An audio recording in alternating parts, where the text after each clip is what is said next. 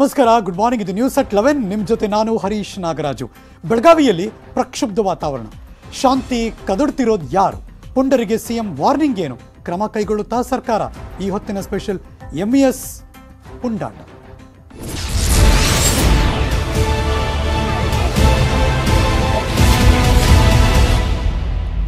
ಎಲ್ಲದಕ್ಕೊಂದು ಮಿತಿ ಇರುತ್ತೆ ಪ್ರತಿಯೊಂದಕ್ಕೊಂದು ತಾಳ್ಮೆ ಇರುತ್ತೆ.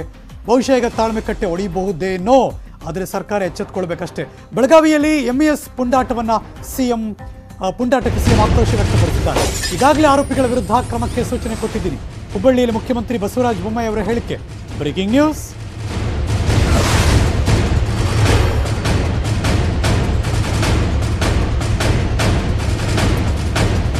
ಪೊಲೀಸ್ ವಾಹನ ಜಖಂ ಮಾಡಿದವರನ್ನ ಅರೆಸ್ಟ್ ಮಾಡಲಾಗಿದೆ.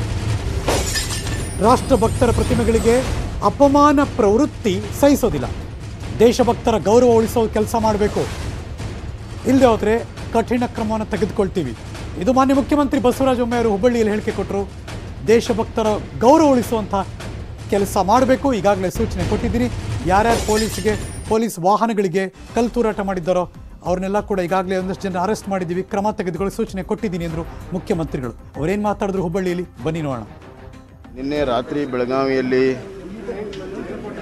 ನಡೆದಂಥ ಪುಂಡಾಟಿಕೆಯನ್ನು ನಾನು ಸಂಪೂರ್ಣವಾಗಿ ಖಂಡಿಸ್ತೀನಿ.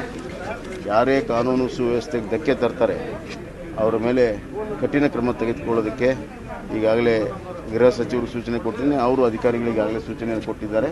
ಈಗಾಗಲೇ ಅರೆಸ್ಟ್ ಕೂಡ ಆಗಿದ್ದಾರೆ ಇನ್ನಷ್ಟು ಕಠಿಣ ಕ್ರಮಗಳನ್ನು ತೆಗೆದುಕೊಳ್ತೇವೆ. ಈ ಥರ ಘಟನೆಗಳು ಸಣ್ಣ ಪುಟ್ಟ ವಿಚಾರದಲ್ಲಿ ಘಟನೆ ಮಾಡುವಂಥದ್ದು ಕಲ್ಲು ತೂರಾಟ ಮಾಡುವಂಥದ್ದು ಸಾರ್ವಜನಿಕ ಆಸ್ತಿ ಪಾಸ್ತಿ ಹಾನಿ ಮಾಡುವಂಥದ್ದು, ಸರ್ಕಾರ ವಾಹನಗೆ ಆಸ್ತಿ ಮಾಡುವಂಥದ್ದು, ಕಾನೂನು ಬಾಹಿರ, ಈ ಥರ ಪುನಃ ಪುನಃ ಆಗದಂತೆ ಆ ಪೊಲೀಸರಿಗೆ ಒಂದು ದೀರ್ಘಾವಧಿ ಕ್ರಮವನ್ನು ತೆಗೆದುಕೊಳ್ಳೋದಕ್ಕೂ ಕೂಡ ನಾನು ಸೂಚನೆಯನ್ನು ಕೊಟ್ಟಿದ್ದೇನೆ. ಒಂದು ಹಿರಿಯರ ನಾಡಿಗೆ ತ್ಯಾಗ ಮಾಡಿದಂಥವರ ಒಂದು ಗೌರವವನ್ನು ಉಳಿಸ್ಕೊಳ್ಳೋಂಥ ಮಾಡಬೇಕು. ಅವರ ಮುಖಾಂತರ ಈ ಥರ ಸಮಾಜದಲ್ಲಿ ಕ್ಷೋಭೆ ಉಂಟು ಮಾಡುವಂಥದ್ದು ಎಳ್ಳಷ್ಟು ಸರಿಯಲ್ಲ.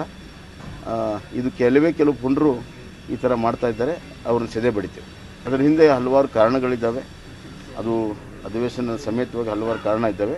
ಅವುಗಳನ್ನೆಲ್ಲವನ್ನು ಕೂಡ ತನಿಖೆಯನ್ನು ಮಾಡಿ. ಬೆಳಗಾವಿಯಲ್ಲಿ ಎಂಇಎಸ್ ಪುಂಡಾಟಕ್ಕೆ ಗೃಹ ಸಚಿವ ಅರಗ ಜ್ಞಾನೇಂದ್ರ ಅವರು ಕಿಡಿಕಾರಿದ್ದಾರೆ. ಸಂಗೊಳ್ಳಿ ರಾಯಣ್ಣ ಹಾಗೂ ಶಿವಾಜಿ ನಮ್ಮೆಲ್ಲರ ಹೆಮ್ಮೆಯ ಪ್ರತೀಕ. ಇವರ ಹೆಸರಿನಲ್ಲಿ ದುಷ್ಕೃತ್ಯ ನಡೆಸೋದು ಅಕ್ಷಮ್ಯ ಅಪರಾಧ ಅಂತ ಹೇಳಿದ್ರು ಗೃಹ ಸಚಿವ ಅರಗ ಜ್ಞಾನೇಂದ್ರ ಅವರು. ಅವರೇನು ಮಾತಾಡಿದ್ರು? ಅದನ್ನು ನೋಡಿ.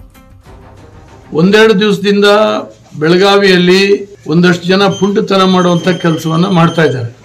ನಿನ್ನೆ ರಾತ್ರಿ ಕೂಡ ಒಂದಷ್ಟು ಜನ ಗುಂಪು ಸೇರಿ ಚದುರುವಾಗ ಅಶಾಂತ, ಶಾಂತಿಯನ್ನ ಕದಡುವ ಕೆಲಸವನ್ನ ಮಾಡಿದ್ದಾರೆ. ಗಲ್ಲಿ ಗಲ್ಲಿನಲ್ಲಿ ಸರ್ಕಾರಿ ವಾಹನಗಳಿಗೆ ಜಖಂ ಮಾಡುವಂಥ ಕೆಲಸ, ಸಂಗೊಳ್ಳಿ ರಾಯಣ್ಣ ಪ್ರತಿಮೆಯನ್ನು ಧ್ವಂಸ ಮಾಡುವಂಥ ಕೆಲಸ ಕೂಡ ನಡೆದಿದೆ ಅನ್ನುವಂಥದ್ದು ನನಗೆ ಸುದ್ದಿ ಬಂದಿದೆ.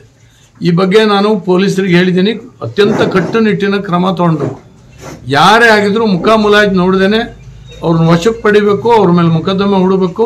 ಇನ್ನೊಮ್ಮೆ ಈ ರೀತಿ ಕೃತ್ಯದಲ್ಲಿ ಅವ್ರು ಭಾಗಿಯಾಗ್ತಿದ್ದಂಗೆ ನಾವು ನೋಡಬೇಕು. ಕ್ಷಮಿಸ್ಲಿಕ್ಕೆ ಸಾಧ್ಯ ಇಲ್ಲ ನಿಮ್ಮನ್ನ. ಅವ್ರು ಯಾರ, ಯಾರನ್ನು ಕೂಡ ಅದನ್ನ ಬಳಕೆ ಮಾಡುವಂಥ ಅವಶ್ಯಕತೆ ಇಲ್ಲ. ಅವರ ಪ್ರತಿಮೆಗಳನ್ನು ಧ್ವಂಸ ಮಾಡಿದ ಕೂಡಲೇ ಅವ್ರ ವಿಚಾರಗಳು, ಅವ್ರ ಹೋರಾಟಗಳು ಹಾಳಾಗೋದಿಲ್ಲ. ಯಾವುದೋ ಒಂದು ಭಾಷೆಗಾಗಿ, ಯಾವುದೋ ಒಂದು ಜಾತಿಗಾಗಿ ಅವ್ರನ್ನೆಲ್ಲ ಬಳಕೆ ಮಾಡುವಂಥದ್ದು ಒಳ್ಳೆಯದಾಗೋದಿಲ್ಲ ನಿಮ್ಮ ಮೇಲೆ ನಿಷ್ಠುರವಾದಂಥ ಕ್ರಮವನ್ನು ಕರ್ನಾಟಕ ರಾಜ್ಯ ಸರ್ಕಾರ ನಮ್ಮ ಪೊಲೀಸರು ಕ್ರಮ ತಗೊಳ್ತಾರೆ ನಾನೀಗಾಗಲೇ ಹೇಳಿದ್ದೇನೆ ಬೆಳಗಾಂನಲ್ಲಿ ಮರಾಠಿಗರಿರ್ಬೋದು ಕನ್ನಡಿಗರಿರ್ಬೋದು ನೆಮ್ಮದಿಯಿಂದ ಬದುಕ್ತಾ ಇದ್ದಾರೆ. ಯಾರೋ ಕೆಲವು ಪುಂಡರು ಈ ರೀತಿ ಮಾಡಿ ಕೆರಳಿಸುವಂಥ ಕೆಲಸ ಮಾಡ್ತಾ ಇದ್ದಾರೆ.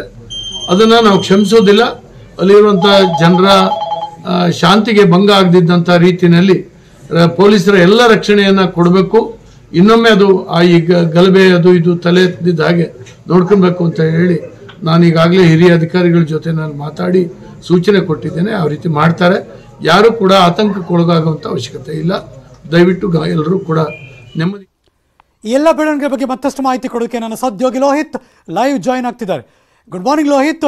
ಒಂಥರ ಬಿಗುವಿನ ವಾತಾವರಣ, ಬೂದಿ ಮುಚ್ಚಿದ ಕೆಂಡ, ಪ್ರಕ್ಷುಬ್ಧ ವಾತಾವರಣ ಒನ್ ಫಾರ್ಟಿ ಫೋರ್ ಸೆಕ್ಷನ್ ಇವಾಗ ಪರಿಸ್ಥಿತಿ ಹೇಗಿದೆ? ಏನು ನಡೀತಿದೆ ಬೆಳಗಾವಿನಲ್ಲಿ? ಖಂಡಿತವಾಗ್ಲೂ ಕಳೆದ ರಾತ್ರಿಯಿಂದ ಏನು ಬೆಳಗಾವಿಯಲ್ಲಿ ಉಗ್ನಿ ಉಗ್ನಿದ್ದು ಉಗ್ದಿನವಾಗದಂಥ ಪರಿಸ್ಥಿತಿ ನಿರ್ಮಾಣ ಆಗಿತ್ತು. ಈಗಲೂ ಕೂಡ ಏನಂತಂದರೆ ಸಾಕಷ್ಟು ಬೆಳಗಾವಿಯಲ್ಲಿ ಕಟ್ಟೆಚ್ಚರನ ವಹಿಸಲಾಗಿರ್ತಕ್ಕಂಥದ್ದು. ಎಲ್ಲ ಕಡೆಯೂ ಪೊಲೀಸ್ ವ್ಯವಸ್ಥೆಯನ್ನು ಮಾಡಿದ್ದಾರೆ. ಆಮೇಲೆ ಯಾರು ಕೂಡ ಅಂದರೆ ಹೊರಗಡೆ ಓಡಾಡಬೇಡಿ ಅನ್ನುವಂಥ ಮನವಿಯನ್ನು ಕೂಡ ಮೈಕ್ಗಳ ಮೂಲಕ ಅನೌನ್ಸ್ ಮಾಡ್ತಾ ಇದ್ದಾರೆ. ಆದರೆ ಇವತ್ತು ಬೆಳಗ್ಗೆ ಈಗ ಮತ್ತೆ ಏನಂತಂದರೆ ಎಂ ಇ ಎಸ್ ಪುಂಡ್ರು ಏನಂತಂದರೆ ಒಂದು ಹೈಡ್ರಾಮಾವನ್ನು ಕ್ರಿಯೇಟ್ ಮಾಡೋಕ್ಕೆ ಒಂದು ಪ್ಲ್ಯಾನನ್ನು ಮಾಡ್ಕೊಂಡಿದ್ರು. ಏನು ನಗರದ ಶಿವಾಜಿ ಗಾರ್ಡನ್ ಬರುತ್ತೆ. ಶಿವಾಜಿ ಗಾರ್ಡನ್ನಲ್ಲಿ ಎಲ್ಲರೂ ಕೂಡ ಒಂದು ಕಡೆ ಸೇರ್ಕೋಬೇಕು ಅನ್ನುವಂಥ ಪ್ಲ್ಯಾನನ್ನು ಮಾಡಿದ್ರು. ಆದರೆ ಈಗಾಗಲೇ ಏನಂತಂದರೆ ಪೊಲೀಸರು ಅವರೆಲ್ಲರೂ ಕೂಡ ಚದರಿಸಿ ವಾಪಸ್ ಮನೆ ಕಳಿಸಿದ್ದಾರೆ. ಆದರೂ ಕೂಡ ಏನಂತಂದರೆ ಮಾಜಿ ಮೇಯರ್ ಏನಿದ್ದಾರೆ, ಅವರು ಇಲ್ಲಿ ಬಂದುಬಿಟ್ಟು ಏನಂತಂದರೆ ಶಿವಾಜಿ ಮಹಾರಾಜರ ಮೂರ್ತಿಗೆ ನಾವು ಅಭಿಷೇಕ ಮಾಡ್ತೀವಿ ಅಂತೇಳಿ ಪೊಲೀಸರು ಮನವಿ ಮಾಡಿದಾಗ ನಾಲ್ಕು ಜನರನ್ನ ಒಳಗಡೆ ಬಿಟ್ಟು ಕಳಿಸಿ ಶಿವಾಜಿ ಮಹಾರಾಜರಿಗೆ ಒಂದು ಏನಂತಾರೆ ಹಾಲಿನ ಅಭಿಷೇಕವನ್ನು ಮಾಡಿರ್ತಕ್ಕಂಥದ್ದು. ಏನು ಬೆಂಗಳೂರಿನಲ್ಲಿ ಈಗ ನಾವು ಹಿಂದ್ಗಡೆ ಇರುವಂಥ ಇದೇ ಒಂದು ಶಿವಾಜಿ ಮಹಾರಾಜರ ಮೂರ್ತಿಗೆ ಒಂದು ಈಗ ಅಭಿಷೇಕ ನಡೆದಿರ್ತಕ್ಕಂಥದ್ದು. ಬೆಂಗಳೂರಿನಲ್ಲಿ ಏನು ಶಿವಾಜಿ ಮಹಾರಾಜರ ಮೂರ್ತಿಗೆ ಒಂದು ಸಮಸ್ಯೆ ಆಗಿದೆ ಅನ್ನುವಂಥ ಒಂದು ನಿಟ್ಟಿನಲ್ಲಿ ಇಟ್ಕೊಂಡು ನಾವು ಯಾವುದೇ ಕಾರಣಕ್ಕೂ ಇಲ್ಲಿಂದ ವಾಪಸ್ ತರಲ್ಲ ಅನ್ನೋಂಥ ಹಠವನ್ನು ಹಿಡ್ಕೊಂಡು ಕೂತಿದ್ರು. ಅಂಥವ್ರಿಗೆ ಮಾತ್ರ ಈಗ ಬರೀ ನಾಲ್ಕು ಜನರಿಗೆ ಮಾತ್ರ ಪೊಲೀಸರು ಒಳಗಡೆ ಬಿಟ್ಟು ಶಿವಾಜಿ ಮಹಾರಾಜರಿಗೆ ಒಂದು ಪೂಜೆ ಸಲ್ಲಿಸಿ ಈಗ ವಾಪಸ್ ಹೋಗಿರ್ತಕ್ಕಂಥದ್ದು. ಈಗಲೂ ಕೂಡ ಏನಂತಂದರೆ ಬೆಳಗಾವಿಯಲ್ಲಿ ವಾತಾವರಣ ಹತ, ಹತೋಟಿಗೆ ಬಂದಿಲ್ಲ. ಬೂದಿ ಮುಚ್ಚಿದ ಕೆಂಡದಂತಿದೆ. ಅಲ್ಲಲ್ಲಿಗೆ ಅಲ್ಲಲ್ಲಿಗೆ ಏನಂತಾರೆ ಎಂ ಇ ಎಸ್ನ ಒಂದಷ್ಟು ಪುಂಟರು ಏನಂತಾರೆ ಬಂದು ಘೋಷಣೆಯನ್ನು ಕೂಗೋದು, ಆಮೇಲೆ ಸರ್ಕಾರದ ವಿರುದ್ಧ ಘೋಷಣೆಯನ್ನು ಕೂಗೋದು ಅಂಥವ್ರನ್ನ ಮಾಡ್ತಾ ಇದ್ದಾರೆ. ಅಂಥವ್ರನ್ನ ಕೂಡಲೇ ಏನಂತಾರೆ ಪೊಲೀಸರು ಅಂಥವ್ರನ್ನ ಅರೆಸ್ಟ್ ಮಾಡಿ ಆ, ಏನಂತಾರೆ ಜೈಲಿಗೆ ಕಟ್ಟುವಂಥ ಕೆಲಸವನ್ನು ಕೂಡ ಮಾಡ್ತಾ ಇದ್ದಾರೆ. ಸಾಕಷ್ಟು ಏನಂತಂದರೆ ಈಗ ಮಧ್ಯಾಹ್ನವರೆಗೂ ಏನಂತಂದರೆ ಅಲ್ಲಲ್ಲಿಗೆ ಅಲ್ಲಲ್ಲಿಗೆ ಇಂಥ ಘಟನೆಗಳು ಸಾಮಾನ್ಯವಾಗಿ ನೋಡಕ್ಕೆ ಸಿಗ್ತವೆ. ಇನ್ನೊಂದೆಡೆ ಏನಂತಂದರೆ ಏನು ಸಂಗೊಳ್ಳಿ ರಾಯಣ್ಣನ ಮೂರ್ತಿ ಭಗ್ನ ಆಗಿತ್ತು ಆ ಒಂದು ಜಾಗಕ್ಕೂ ಕೂಡ ಕನ್ನಡ ಸಂಘಟನೆಗಳು ಕೂಡ ಅಲ್ಲಿ ಹೋಗಿದ್ವು. ಅಲ್ಲೇ ನಾವು ಸ್ಥಳದಲ್ಲೇ ಪ್ರತಿಭಟನೆ ಮಾಡ್ತೀವಿ. ನಮಗೆ ಇವತ್ತಿಂದ ಇವತ್ತಲೇ ಏನಂತಾರೆ ರಾಯಣ್ಣನ ಮೂರ್ತಿ ನಮಗೆ ಸ್ಥಾಪನೆ ಮಾಡಬೇಕು ಅಂತ ಅನ್ನುವಂಥ ಪಟ್ಟನ್ನು ಹಿಡಿದ್ರು ಆ ಒಂದು ಕನ್ನಡ ಹೋರಾಟಗಾರರು ಕೂಡ ಈಗ ಪೊಲೀಸ್ನವರು ವಶಕ್ಕೆ ಪಡೆದು ವಾಪಸ್ ಕಳಿಸಿದರೆ ನಗರದಲ್ಲಿ ಒನ್ ಫಾರ್ಟಿ ಫೋರ್ ಸೆಕ್ಷನ್ ಜಾರಿ ಇದೆ. ನಾ ಇವತ್ತು ನೀವು ಯಾರೂ ಕೂಡ ಇಲ್ಲಿ ಪ್ರತಿಭಟನೆ ಮಾಡೋಂಗಿಲ್ಲ ಅನ್ನುವಂಥ ಕಟ್ಟಾಜ್ಞೆಯನ್ನು ಕೂಡ ಈಗ ನಗರ ಪೊಲೀಸರು ಹೊರಡಿಸ ಹೊರಡಿಸಿರ್ತಕ್ಕಂಥದ್ದು Harish. Thank you so much Lohith ಈ ಕ್ಷಣದ ಮಾಹಿತಿಯನ್ನು ಅಪ್ಡೇಟ್ ಮಾಡಿದ್ದಕ್ಕೆ.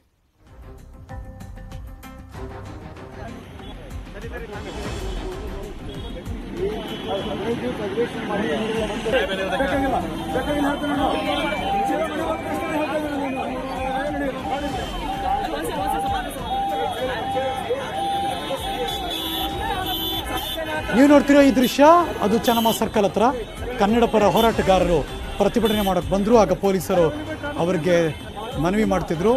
ಒನ್ ಫಾರ್ಟಿ ಫೋರ್ ಸೆಕ್ಷನ್ ಇದೆ, ನಿಷೇಧಾಜ್ಞೆ ಇದೆ, ಮಾಡಕ್ ಬರಲ್ಲ ಅಂತ. ಹೌದು, ಬೆಳಗಾವಿಯಲ್ಲಿ ನಿಷೇಧಾಜ್ಞೆ ಜಾರಿಯಲ್ಲಿದೆ.